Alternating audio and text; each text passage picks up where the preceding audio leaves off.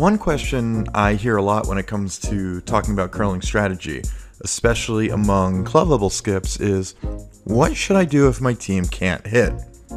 This even came up last week when talking about when the appropriate times to throw through were in my last video. Obviously, world class teams play different than everyone else because of how consistently they can make hits. And even competitive teams will play different than, say, a typical club team, based on their hit percentage. So let's talk about what we should do differently when our team struggles to hit or we feel like it can't hit at all. First of all, it's important to think about what we mean when we say, my team can't hit. Does that mean your team has a tendency to throw a low percentage on hits? Isn't very precise? Does it mean that they miss the majority of their hits, even flashing open takeouts in the middle of the ice? Very rarely, if ever, does it mean they can't hit at all, at any weight, at any point in the game. Now, that may sometimes be the case when you're playing with very new or very casual curlers, especially on a casual league night. And in those cases, my advice is just don't worry about it. Call shots that your team can make, make sure everyone's having a good time, and don't worry too much about strategy. Doesn't mean you can't try to win, but really, focus on making sure that your teammates are throwing shots they're enjoying, and work with those shots as best you can to win the game. But when we talk about every other scenario, from being at a Bonspiel to being in a more competitive league night, or even into more serious competitive play, we can still make adjustments to our strategy based on how good or how bad our team is at making hits. The key thing is that we want to make adjustments to our strategy, not overreactions. Think of curling strategy as a continuum, from an extremely aggressive style that throws tons of guards and never hits at all and isn't worried about playing defense in any situation, to an extremely conservative strategy that we're throwing through, hitting everything in sight, and not worrying about how many points we're scoring. There's a lot of room for adjustment between those two extremes, and you want to be moving on that line, not jumping from one extreme to the other. For instance, if your team is not good at hitting, you will want to play a more aggressive strategy. That means when it's close and early in the game, you'll definitely want to be throwing guards and trying to draw around them, even in situations where a more conservative team might choose to throw a hit. For instance, let's say the team without hammer throws one top four in the first end of the game a conservative team, or even maybe even an average, middle of the road strategy team, might be tempted to just hit that. Be willing to play for a blank or a simple end, and just move on to the second end with whatever happens, taking away any really outlandish results from the first end. However, if your team doesn't hit well, it's perfectly okay to say right away, we're going to throw a corner guard right from the jump, you're going to start playing aggressively, try to set up a bigger end, and you'll find a way to deal with those middle rocks later in the end. Hopefully, some of your later players are able to make some hits in the middle, even if your lead um, isn't too confident about throwing that hit. On the other hand, we're not going to go crazy with making adjustments in situations where conservative play is correct. For instance, let's say we're up 4 with Hammer in the final end of a game, and we see the non Hammer team throw a rock to the top 4. Well, no matter how bad your team is at hitting, there's really nothing better to do here than throw a hit at that rock. You might throw through, that's fine. But what would happen if you threw anything else but the hit? Well, you could try drawing into the house, but that rock doesn't do much to stop the steal team from setting up a center, and you're not looking to score anyway. All in all, that rock isn't a terrible rock for you for sure, but it could have some repercussions for you down the road, especially if it isn't thrown very well. Throw it to the back of the house, the non hammer team is going to use it as backing later.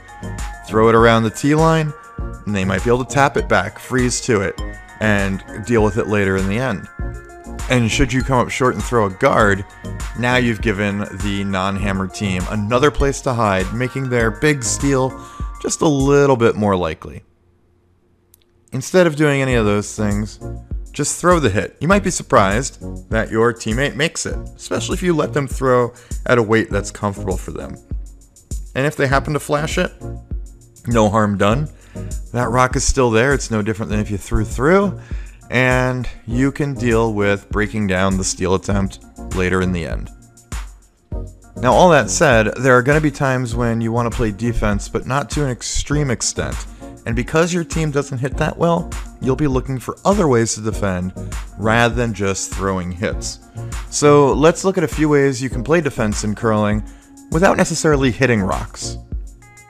One way to play defense without hitting is to make sure you always have multiple rocks in play, ideally separated in a way that makes it impossible for the other team to knock them both or all of them out at once. This will help you prevent giving up big ends as you cut down the scoring area and don't allow any pesky biters or rocks in the 12 foot to outcount you at the end of the end. For instance, imagine it's the first end of the game and you're playing yellow here without hammer. It's your Vice's second rock, and as you can see, you're counting, but red does have three rocks hanging around in the house. Now, a team that was confident in hitting here probably would try to hit something out and limit the potential damage. Um, they might even hit the top rock on the bottom side of the house here to attempt to make a double and potentially really limit the scoring. But just because you're not comfortable hitting here doesn't mean you can't play defensively, at least to a certain extent. One fairly safe shot that you could try would be to throw a rock into the other side of the house, leaving you counting first and second. For instance, if you try to throw a rock down to the back red rock, here on this side of the house, you may get a great freeze, but even if you don't, and say you come up both narrow of the rock and out in the open and not particularly near it, you now are sitting 1 and 2 with a rock that's not trivial to get rid of either. Red may come back and hit one of these rocks, say the more open one because it's easier hit, and sit one. But now you're on skip rocks, and perhaps your skip is comfortable hitting. And even if they're not, you can continue to try to do the same thing of putting two rocks in play. For certain, throwing a second rock into the house is not as safe a way to play defense as hitting the best red rock, sitting 1 2 that way, and also limiting the damage at the same time.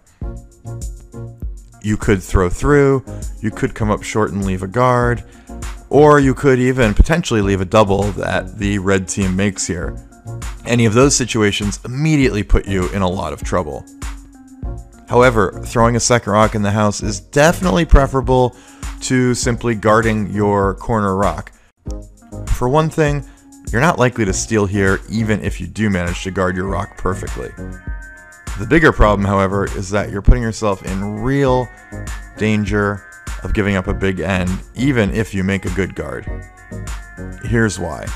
First, we can see that if we throw up a imperfect guard, there may be ways for red to hit out our yellow rock, even on the tougher side, pushing it over the top of their red and sitting 5 we go back and put that rock in a similar place and replace our guard a bit too close to the center line, the job gets even easier as they can throw down weight hit, remove the yellow rock, and maybe roll a little to the outside, again sitting 5.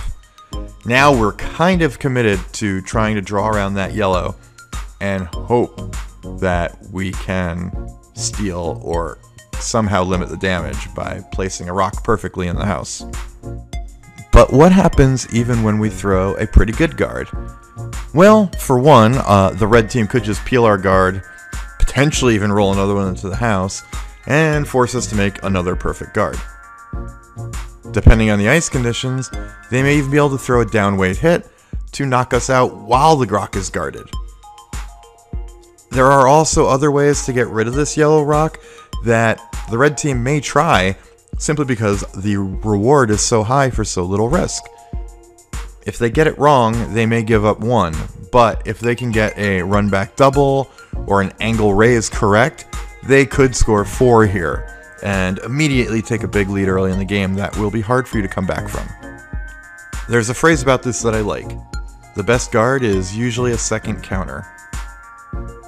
This just means that when you have two rocks in play that can't be doubled, it's going to be very difficult for your opponent to take a huge end against you. Having one rock in play, even if it is fairly well guarded, is often not enough to stop a very nice shot from putting you in serious trouble. Another way to play defense when you don't want to hit is to take advantage of any backing that may be sitting in the rear of the house.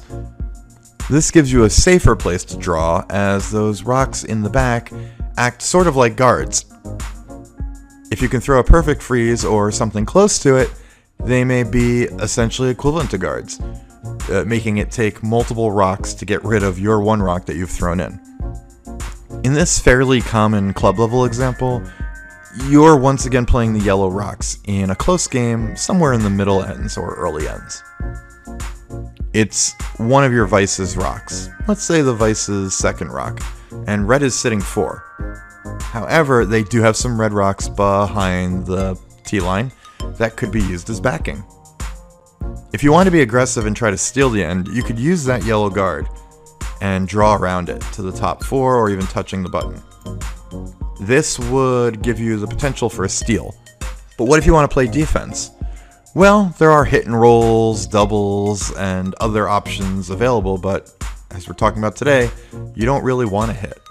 In that case, the best thing to do is to draw down to those two rocks in the back of the four-foot. Doing this accomplishes a couple things. One, if your yellow rock comes anywhere near those red rocks, either a perfect freeze, maybe up to a foot in front of them, or makes a slight tap on them, it's going to be very difficult to get rid of. Now you've instantly outcounted all the red rocks and made it not so easy for red to score a bundle here. Secondly, in club level play, this might even be a safer way to potentially set up a steal. It's not at all automatic that red's next rock will sit on your yellow, and if it doesn't, now you have a pretty reasonable rock to guard. Sure, it's behind the T line, but red will have to make a good draw to outcount it, and even if they do, it's going to be difficult for them to set up a big end. You could also now draw one behind your guard and sit a second rock in the four-foot. If you make this shot, you're now sitting 1-2, and both rocks are at least somewhat difficult to get rid of. Sure, the red team still has a place to sit on to count 1, but giving up 1 without the hammer is hardly a disaster. Another way to play more defensively without hitting is to generally make sure your guards are closer to the house as opposed to being higher guards. Now, for a lot of club level skips and players, this will seem just like good general curling advice. You've probably been taught that those free guards that land really, really close to the house are perfect, world class shots. Those higher guards are useful, but not as good, and the ones near the hog line are nothing more than a nuisance, and that sometimes you don't even want them over the hog line. In reality, all three of these rocks can be good, but for very different reasons. The rock near the hog line is best used to guard a second guard that's deeper. Usually you'll do that when you're far behind wanting to play aggressively. Splitting two guards by many feet makes it very difficult to double those rocks and improves your chances of hiding a rock behind them and successfully getting a steal or setting up a multiple with the hammer when you absolutely know you need to score. That rock that's in the two zone, about midway between the house and the hog line, is a fairly good rock to steal with or draw behind if you are only going to put one guard in play. Depending on how swinging the ice is, the exact spot you'd want that rock can vary, but the idea is that it's easy to draw around, but not so easy to hit around. But what about that tight guard? Well, depending on your ice conditions, it may well still be possible to draw around it. However, more of the draws that come around this rock are likely to be at least partially open. If rocks are completely buried behind this guard, they're more likely to have to go a bit deeper, setting up rocks behind the house that you can then sit on in response. Even if someone does throw a great draw to the top of the house around that guard, you're now left with a short run back that maybe someone on your team can make, even if other players do struggle with hits. But even if you never draw around this guard, there are a number of things you can do with it that you wouldn't be able to do with a higher guard. For instance, maybe you can tap that guard into the house, making it a counter. Later in the end, you might even consider splitting it on to sit two rocks or to get a bonus point at the end of the end if you have the hammer. While all guards have their purpose, the tighter the guard is, the less aggressive of a play it is. These tight guards have the potential to be used defensively, even though they do have some offensive potential as well. After all, they are still guards. Finally, there's one last thing you can do when you don't really want to hit, but the situation calls for it. Just call a much lighter weight hit. Many people who aren't good at hitting really are saying they're not comfortable throwing up weight. But if a person has ever drawn through the house accidentally, chances are they can throw a hack weight hit, and even board weight hits are in the repertoire of most players who have been playing for more than a year or so. The great news is that a high percentage of hits can be made with these low weights. It really doesn't take much more than backline weight to remove one open rock from the house. Now, that statement varies depending on how reactive your rocks are and how lively the ice is in your houses. But a direct nose hit at, say, hack weight will remove almost any rock from a house in most cases. And you probably really don't need to go above board weight for that direct hit to remove any rock at any club you're likely to play at. So when you run into circumstances where a hit is obviously the correct play, but your player or your team is just not that comfortable throwing the hit, consider just throwing it a little lighter than you normally would and seeing if that gets you the result you want. You might be surprised how well that works out. Honestly, throwing the lowest weight you need to accomplish a shot is usually the best idea anyway. If a hack weight hit gets the job done, throw hack weight. I hope these tips have given you some ideas of how you can play a little more defensively when you have a lead, even when you don't feel like your team hits very well. The good news is that you don't really have to change your strategy much at all when you're behind, because you should play aggressively in any case in that situation. And when the game is close, it's perfectly okay to just say, hey, we're a drawing team and we're going to play more aggressively. The real adjustment comes when you have the lead, when you're going to want to play some level of defense, but that doesn't mean you have to play like you see the pros do it on TV. Chances are you're going to throw a hit from time to time, but there are a lot of ways to play defense without bringing out the peel weight. Thanks again for watching. If you enjoyed this video, please hit that like button and subscribe to the channel to show your support for Chess on Ice. I really appreciate all the kind messages I've gotten over the past couple weeks since I've started putting more content on this channel. You can be sure I'll keep making videos as long as people keep enjoying them and telling me they want to see more. Thanks, and we'll see you again soon.